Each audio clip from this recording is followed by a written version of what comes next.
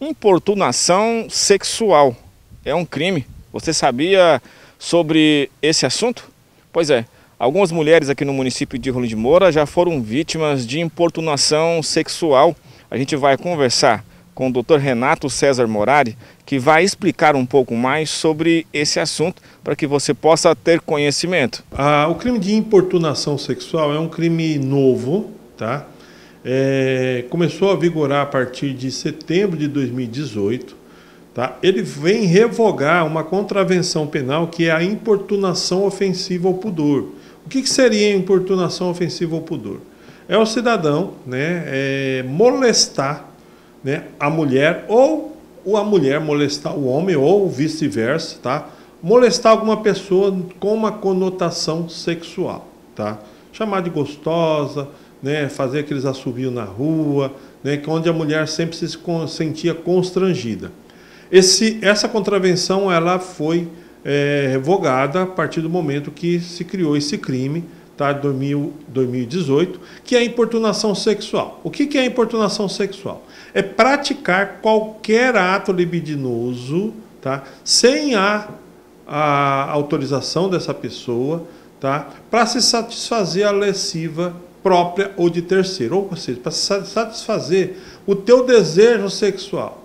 Exemplo, tá? a menina está na, na, andando na calçada, vem um cidadão de moto, vem e passa a mão né, nas partes íntimas, nas nádegas, no seio da, dessa, dessa, dessa mulher. Tá? Isso é o crime de importunação sexual. Tá?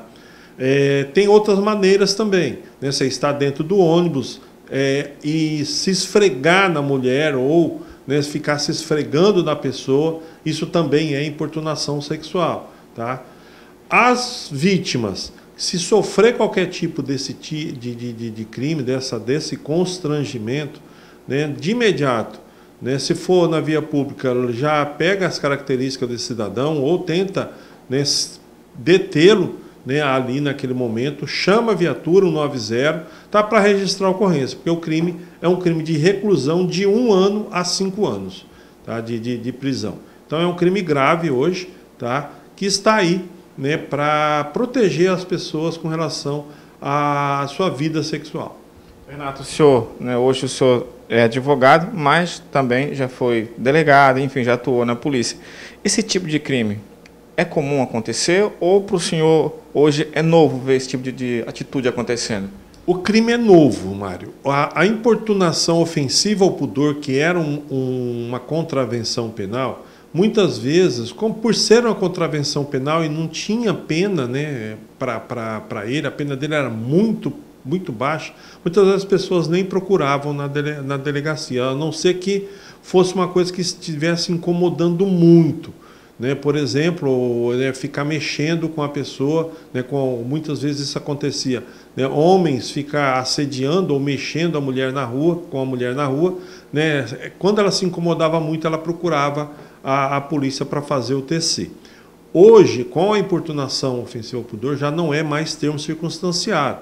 Tá? É inquérito policial. Esse cidadão vai responder um processo crime e pode ser preso tá? Pode ser até preso em flagrante delito, tá? Sem fiança, porque a pena é de 1 a 5 anos de, de, de, de reclusão.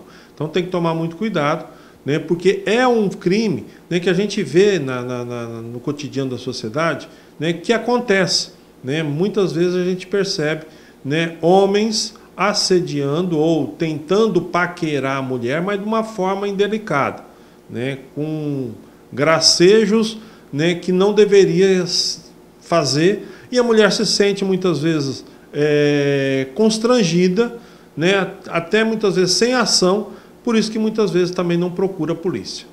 Nesse caso, se a, se a pessoa conseguir fotografar, anotar a placa, é de suma importância para ajudar. Sim, de suma importância. Né? Hoje todo mundo tem um celular, você conseguir tirar uma foto do, da placa ou uma foto do cidadão, né? pegar as características dele, já de imediato ligar para o 90 né, para que a polícia possa tentar abordar e prender esse cidadão que está cometendo esse tipo de crime.